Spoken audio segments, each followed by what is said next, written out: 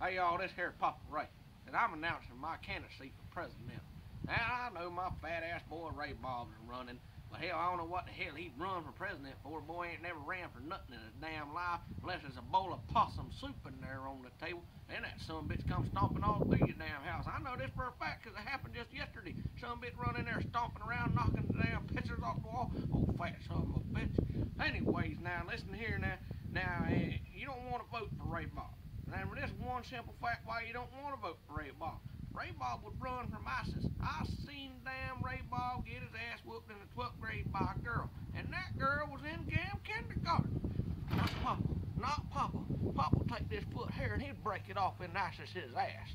So you remember, when you going down there to vote this year, don't you damn, don't you vote for Ray Bob. You vote for Papa. Because Papa is the man for the job. Papa and his foot of damn justice, boy.